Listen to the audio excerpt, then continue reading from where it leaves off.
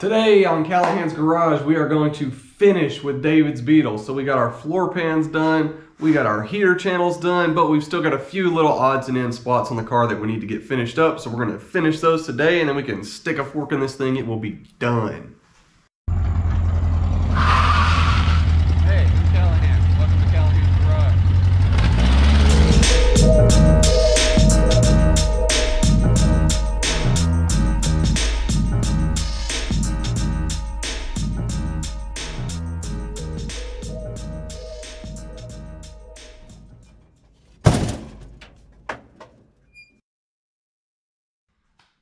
Folks, welcome back to Callahan's Garage. My name is Callahan, if you're just now joining us, this is David's 1965 Beetle. We have done a ton of work to it. In the last couple videos, we removed and we installed both of our new heater channels. Um, so if you haven't seen those, please go check them out. Let me know what you think. But today, we've got a few little things left to fix up on this thing before we totally send it back out. Um, so we got a couple little rust spots left that we need to fix. And then we got a few miscellaneous holes in the car. Like we got a couple holes in the dash. We got some old metal work that needs to be kind of cleaned up and checked over. So we're gonna get all that done today. But first things first, we got our heater channels done so we can get all of this bracing out of the way. So I'm gonna cut this out of the way, free up a little, little bit of space in the car. We can get in here and start doing some work. Okay, so we got all the bracing cut out and cleaned up. And you can see I just came and ground our B pillars and our A pillars nice and clean. And after some paint work, it'll be like that stuff was never even there. Um, so next we're going to move inside the car. We got a couple of little areas that are, you know, very common that we have to repair when we do the heater channel. So we're going to take a look at those. So the next area we're going to look at is kind of this lower parcel tray area where it ties into the back of the heater channel here. And like I said, this is a super common area to rust out on these cars. Um, you know, odds are if you're having to do the heater channels, you're going to have to do some degree of patchwork or something right here too. Um, and they do make this whole piece. You can buy this whole lower parcel tray area to put in here and replace it if yours is a little worse off than this. But this one isn't really bad. So we're just, I'm just going to cut this out. We'll fab us up a little patch piece here and we'll get it welded in. So this is a pretty good example of just a simple little area that needs replacing. Um, and you know, this isn't really bad enough to justify buying a whole replacement piece for this. So, you know, we're just, I'm gonna give you a few tips on how to just fabricate a piece for this real quick. So first thing I'm gonna do is I'm just gonna come and I'm gonna cut all around my rust here and make sure we get all this little rust out and then we'll make us a new piece to go in here.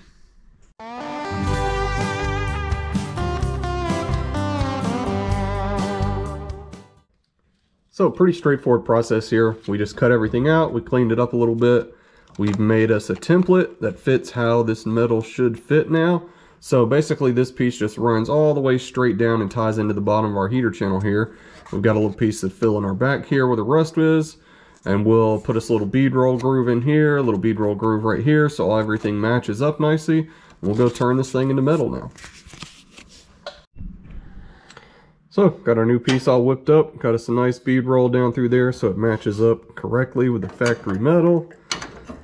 Fits in there nicely. Got us a little notch hammered in here so it matches up with this bead. We'll get that kind of worked in as we weld it in. So we'll come in, we'll weld this thing all up, clean it up, be done.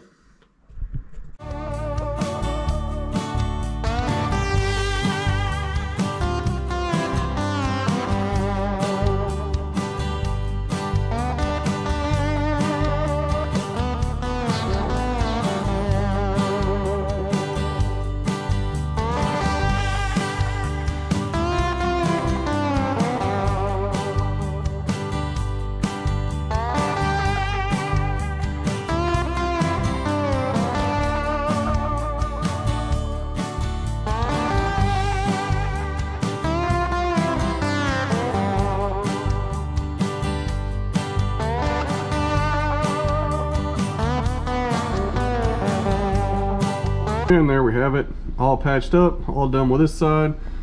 So now we've got the exact same repair to do on the other side, so I'm gonna knock it out. And just like that, we got this side all fixed up. So the last thing we need to do on this side is put our heater ducts back in. So let's look at how to do that. So these little heater duct pieces are really a pain in the butt to get out, you know, if your heater channels are in good shape. So we had these already out because, you know, the area around it was kind of rusted out. But these aren't too difficult to get back in and they just get a little tack on both sides to hold them in place. So you kind of just slide it onto the back section and then pop it down in there, put you some tacks on it once you get it wiggled into place. My rotisserie is kind of keeping me from putting it all the way down into place. So once I get the body off the rotisserie, I'll come back and tack this in place. So we'll stick both of those in there and then we'll move on to the front of the car and we're almost uh, we're almost wrapped up with this thing. Okay, so the last two rusty areas that we have to fix are kind of the bottom corners of our firewall here. We've got some rust on both sides. And just like in the rear, you know, if you're doing heater channels nine times out of 10, you've got to do a little repair work right here too. This is very common. Um, you know, so fully expect to have to address this to some degree. Um, so basically what we're going to do is I'm just going to cut this out. I'll fab us up a new little piece and we'll get it patched up just like we did the back. Um, you can also buy a repair panel for this. You know, Klassic Fab and several other people have these these sections available. Um, but you know, this is a relatively straightforward area, so I'm just going to make a piece and then we'll stick it in here. Um, so the first thing I'm going to do is I've gone ahead and I've made me a little template here. That way I know exactly the shape that this needs to stay. So what I'm going to do is I'm going to cut this out and then I'll fab me up a bottom piece here and then I'll fab me up a little piece to box all this in. We'll close it all up.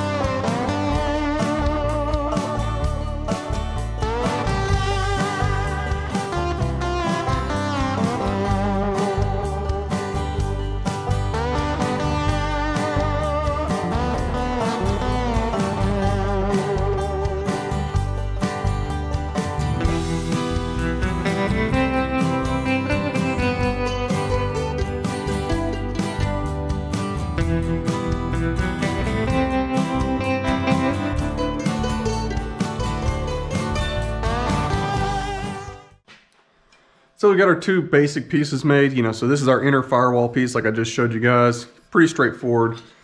This piece that's gonna be the bottom of our firewall that ties into the front half of that firewall, firewall there is gonna be a little more complicated. And you can see I just bent this in my vise, you know, a box and pan brake has been on my list of things to buy for years and years and I just never get around to getting one. But, you know, that's kind of the point that I'm trying to make here is, you know, with some basic tools and a little bit of ingenuity and understanding know, how to do this stuff, it's really not that hard. Um, so I bent this piece up in the vise. The next thing we need to do is we need to shrink this edge here. And what that's gonna do is that's gonna allow this to bend up so that it'll match up to the contour on the bottom of this piece. So basically this piece will end up fitting, you know, into the bottom of this piece. And we'll weld this seam up. Now, you know, some really high-end sheet metal fab shops may be able to make this all out of one piece. I'm not that guy. So we're just gonna make it out of two pieces. We'll weld this seam up before we put it in. We'll get some good corrosion protection and everything on the inside, and it'll be totally good.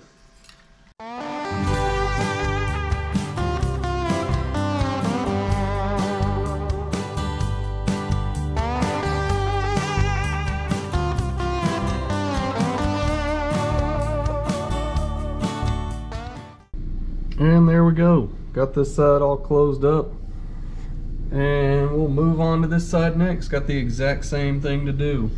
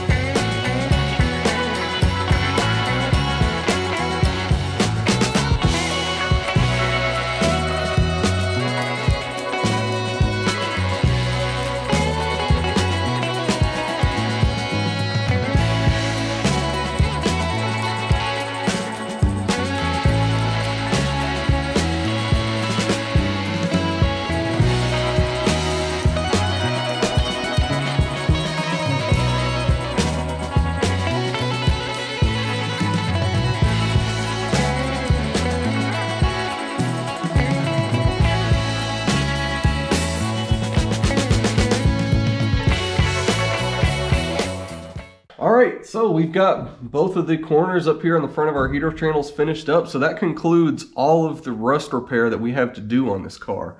Um, you know, so we got our heater channels in, we got all of these corners, front and front and rear, all patched up and everything's nice and solid again. We got a bunch of corrosion protection sprayed up in there before we close this all back up. So, you know, really pleased with how all this came out. This is going to last, you know, a really long time again. You know, we'll be able to get another 50, 60 years out of the car.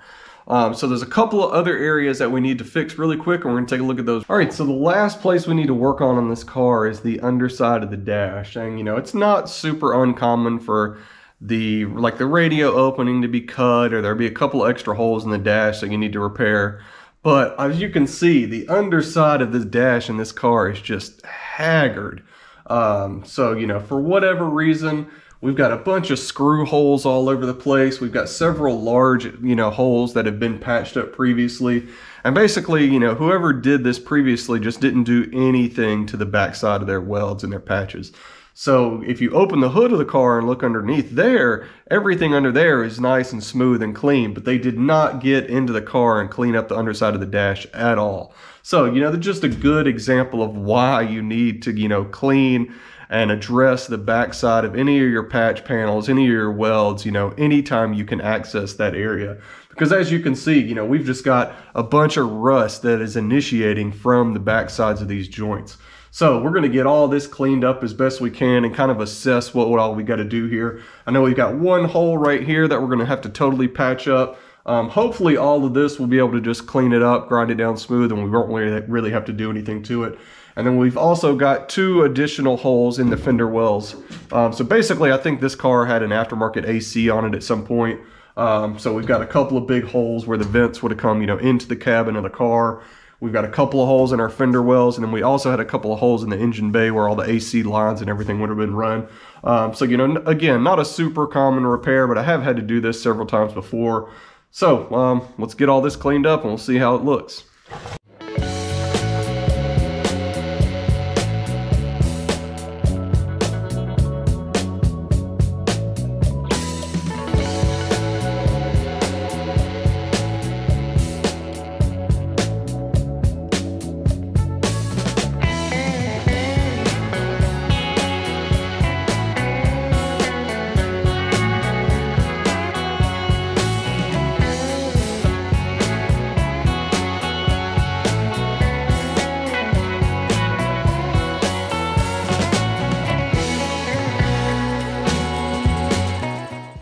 Turns out I was a little overly optimistic about this area cleaning up. And you can see here you know these old patches just really just didn't match up well. It's going to be really difficult to get this cleaned up and looking good without you know ruining our base metal here. So I've already gone ahead and cut this one out. We can see you know this is just terrible. This is not good. Ended up having it it's got a bunch of filler on the top of it to you know make it look a little better than it actually was. So we're going to cut this out patch this up. I'll cut this out, cut this out. We'll get all of this cleaned up and really looking good like it's supposed to. So I'm going to knock that out and then we'll look at it when it's done. Okay, so we're kind of hopping around, you know, doing some of these patch panels on, on the side of the dash. And I've also got these two little holes in our fender wells here that we're going to patch up real quick. So I'm going to show you a couple little tricks when you're doing just simple little flat patch panels like this. Um, and when I say flat, I mean, it's we're just like plugging a hole like this. You know, we're not we're not dealing with any any body lines or contours. There's no break in the materials or anything like that. It's just a you know a piece of metal that we're sticking into a hole and filling up. Um, so you know on these cars, there's basically no you know, truly flat panels. You know, pretty much every single piece of metal on the car has some kind of curve or crown or, you know, bend in the material.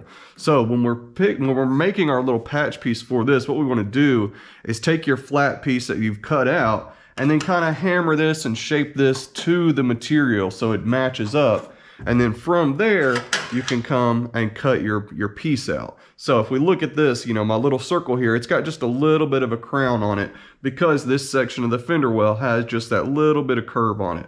So then what I can do is I need to get this, you know, into place so I can start welding it in there. And there's a couple different ways you can do that. You know, you can hold it in place with a magnet, which sometimes helps and sometimes doesn't. But on something like this, what I find to be easiest is just use a piece of masking tape put it on, you know, the back side of your plug and then we can just place this into the hole and that tape is going to hold it exactly where we need it. And the reason this is really beneficial is because that tape allows us to kind of manipulate this piece around and get it matching up really perfectly while not, you know, dropping it loose or knocking our magnet loose or anything like that. So, you know, that especially if we're working on one side of the panel and, you know, we can't really get to the other one, that just makes it really easy to hold everything in place and move it around a little bit as we tack around the piece.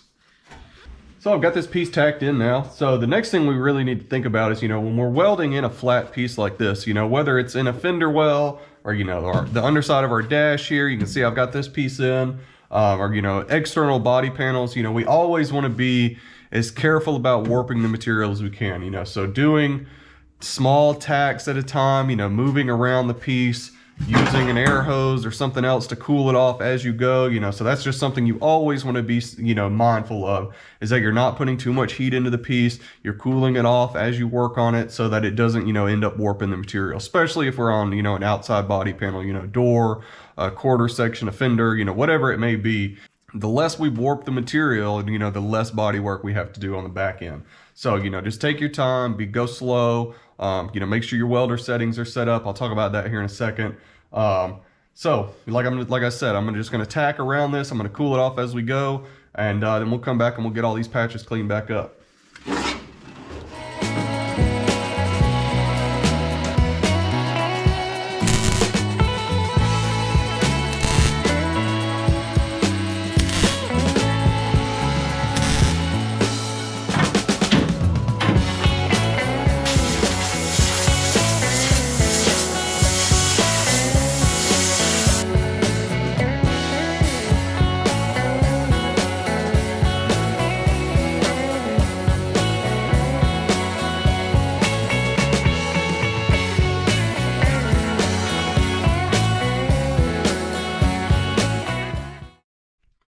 Okay, so we've got our little patch panel welded up here, and you can see, you know, we were able to mitigate a lot of the heat that went into this. You know, our heat effect zone is really small here, but, you know, our tack welds are still pretty flat, which is going to make, you know, our cleanup on this a lot easier. So, you know, that's kind of the goal is to get just enough heat into it to get our, you know, good flat tacks, but not so much heat that we have a large heat effect zone and, and we end up warping this material. So let's go take a look at the welder settings.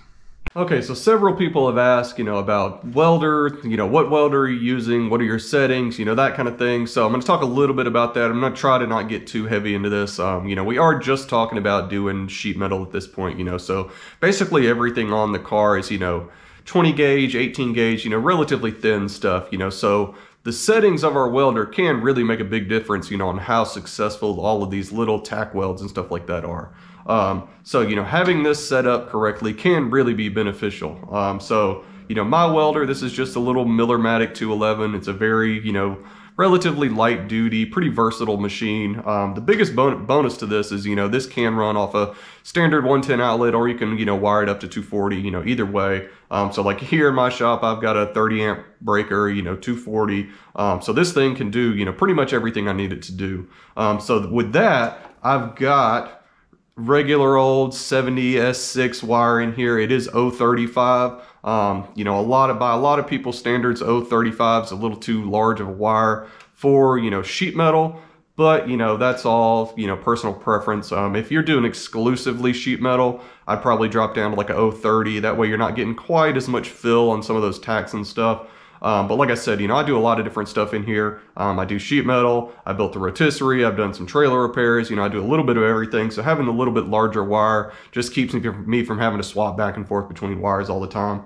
And then keep in mind, we are talking about MIG welding here. So we have a bottle of shielding gas. It's just regular 75-25, nothing, nothing fancy. Um, you do not want to be doing this stuff with any any variation of flux core wire. You know, self-shielded flux core wire is terrible. You know, it absolutely has its place, but it is not doing body metal. Um, and then like dual shield flux core wire, you know, where we're using the flux core wire in addition to a shielding gas bottle, you know, that's for structural stuff. You know, we're not doing body sheet metal with that. So, you know, if you don't have a shielding gas supply on your welder, you need to get that set up. You know, you're not going to be able to really have good, successful, clean welds on body metal without using the MIG process, you know, so 75-25 gas, Um, like I said, ER70S-6 wire, you know, that's what's going to get you really clean, successful welds when we're talking about doing body metal. So as far as our settings go, um, you know, when we're when we're talking about our MIG welder settings, remember the only thing we really have is our voltage setting and then our wire speed setting. Um, so as far as our voltage for 20 gauge, um, you know, you're really only talking about, you know, maybe 15 to 17 volts, depending exactly on what gauge metal you're at. Um, I prefer to, to weld a little bit hotter. So like on mine currently, this doesn't even give you a voltage setting necessarily. It's just got our, our gauge thickness on the outside, and then it's got us like a one, two, three, you know, one to 10 scale for our voltage. And I've got it set to three, which is recommended for 18 gauge. So, you know, that's, that's close to about 17 volts. Um, and then on my wire speed on these machines, you can set it to auto set on your wire speed. So I've just got, I just leave this thing set to auto set for 035 wire and it automatically adjusts the wire speed for, you know, whatever the machine sees that you need. But your wire speed for about 17 volts will be around, you know, 250 inches per minute. Um, you know, so on most on most of your machines, that would be like two and a half, um, you know, somewhere between two, two and a half.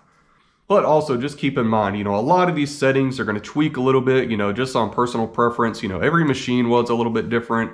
Um, you know, all the wires are a little bit different. So, you know, that there's going to be a little bit of variation. You know, usually if I'm on, you know, some of the thicker areas of the car, you know, I may, I may bump this up to like three and a half. If it's somewhere where, you know, the material's really thin, it's rusty a little bit, you know, I may drop this down to like two and a half, you know, so there's always a little bit of wiggle room here. But just keep in mind, you know, having consistent weld settings, new consumables, you know, having everything set up correctly is, is really going to benefit you long term, you know, when you're putting all this stuff together. It's going to make your weld joints that much easier.